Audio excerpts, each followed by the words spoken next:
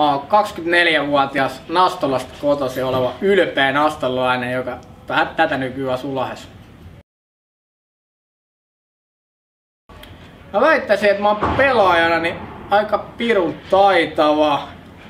Pieni kokonen, mutta sitäkin enemmän voimaa.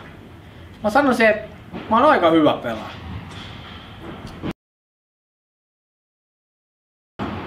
Voi kauhees. Mun siviilielämäni, se on aika värikästä. Mulla sattuu paljon ja tapahtuu. Ja tota, ei, siitä, ei siitä uskalla sen enempää kertoa.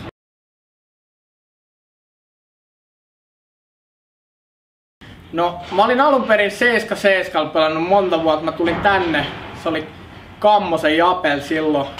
Mäkitalo ei suostunut vaihtaa siihen tota, niin, nimeä, siihen 77. Mä ajattelin, että nyt mun on pakko vaihtaa numeroa. Mä mietin, että mä voisin olla leftin puolen Carsoni, eli 65, mutta sanotaan näin, että numerovalinta on osoittautunut, osoittautunut erittäin huonoksi valinnaksi. Että täytyy varmaan ensi kaudella vaihtaa johonkin muuhun. Tää on, niitä on moni. Mä tykkään laulaa. Mä en sano, että mä oon hyvä laulaa, mutta mä osaan ottaa yleisö haltuun. Mutta kyllä mä lähtisin melkein Kikan tuotannolla. Se on aika vahvaa, vahvaa mulla, kun mä sen verran karaamisen.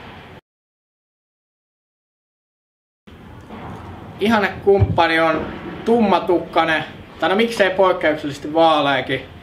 Mut kyllä, kyllä mä aika kaikki ruokainen on. Et pieniä kriteerejä, mutta ei mitään hirveän suuria. Et jos joku mut huolii, niin se on kotiin päin. Ei mitään, tulkaa Sanko joukkoon hallille ja tota, eiköhän nosta tänä vuonna Suomisarja ja pistetään täällä bileet pystyyn. Voidaan sitten yössä juhliin yhdessä.